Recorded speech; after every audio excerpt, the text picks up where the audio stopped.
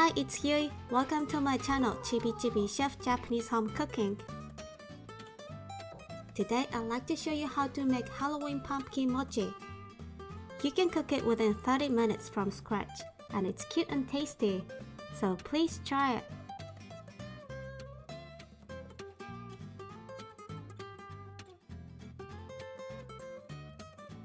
First, let's make the pumpkin fillings. Cut some kabocha pumpkins. It's hard to cut a pumpkin, but if you remove the stem first, then you can make a cut in the stem with the edge of the knife. Inside the tip of the knife into the stem area like this for both sides. You can cut in half so easily.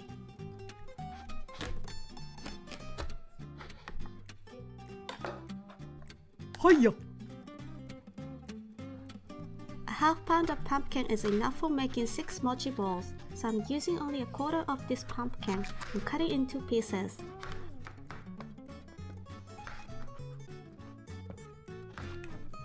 To peel the pumpkin skin, it's easy to just microwave it first. Put the pumpkin pieces in a bowl with a sheet of plastic wrap and microwave them for 4 minutes. Place the microwaved pumpkin pieces on a plate without the water from the pumpkin. Please make sure to get rid of the water from the pumpkin to avoid making the filling soggy. Then you'll be able to peel the skin easily with a spoon and a fork. You can cook the pumpkin by boiling it if you prefer to. Smash the pumpkin with a fork to create a smooth texture.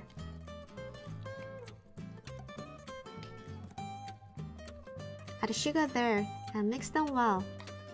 This is the inside filling for the mochi balls. You can make 6 mochi balls with this filling, so divide it into 6 sections.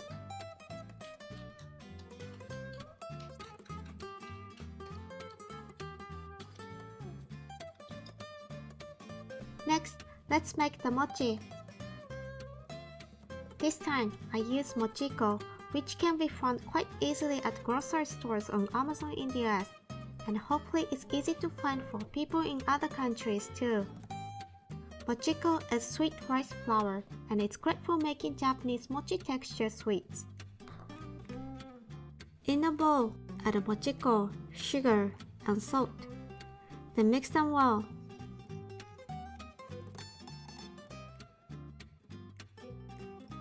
Add water there and mix them again. Let the water absorb all the powder like this. Then microwave it with a sheet of plastic wrap again. You can cook this in a pot if you don't have a microwave. Microwave it for 2 minutes first. Take it out from the microwave and mix it well to cook evenly. Put it back in the microwave and cook it for 2 minutes again. Take it out and mix it again.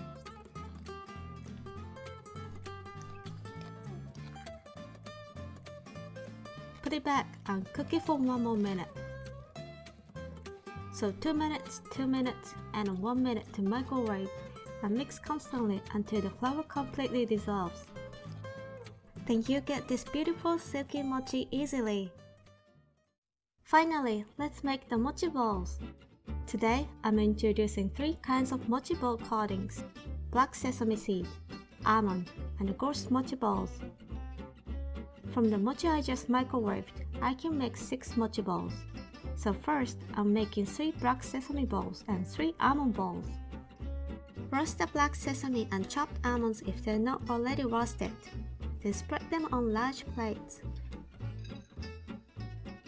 Before the mochi base gets cold, place half of the mochi base each on the black sesame and the other half on the chopped almonds.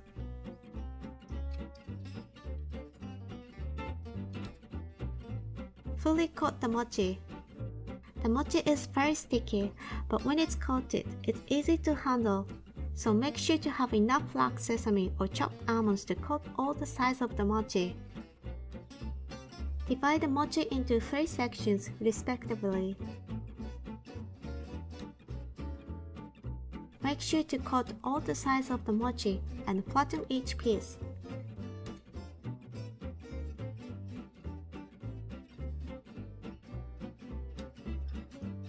Place the pumpkin fillings which have been divided into small portions earlier in the middle of each mochi. Wrap the fillings with the mochi. Pinch the corners of the mochi layer together to wrap the filling.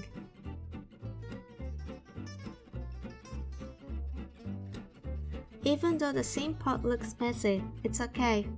You can place the seam side down on the plate and hide it. Since I like to show the Halloween orange color from the fillings, I'm cutting the mochi balls in half when I serve. To cut the mochi in half beautifully, it's easy to use cooking twine instead of a knife. Place the twine around the mochi in the center and cut it like this vigorously. Then you can cut the mochi balls nicely without making a mess on your knife.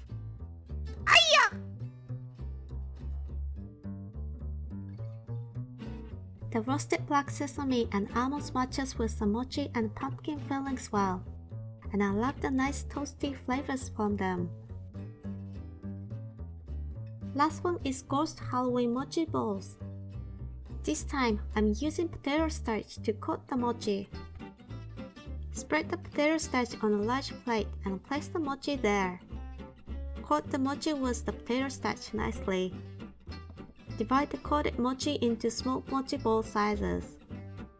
Coat all the sides of the small mochi pieces with the potato starch. Same as before, pop the pumpkin fillings one by one.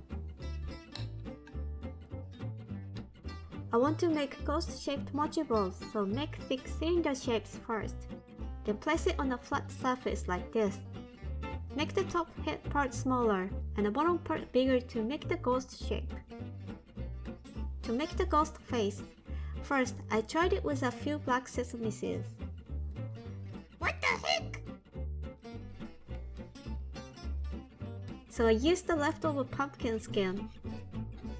Cut the microwaved pumpkin skin to make the ghost eyes and the mouth. Make small holes on the ghost mochi face to stick on the eyes and the mouth pieces easily. Then this time, I could make better ghost faces. Woohoo! It's quite easy to cook only with your microwave and really fun to cook with kids. Hope you all have a happy Halloween. Thank you for watching and see you again. またね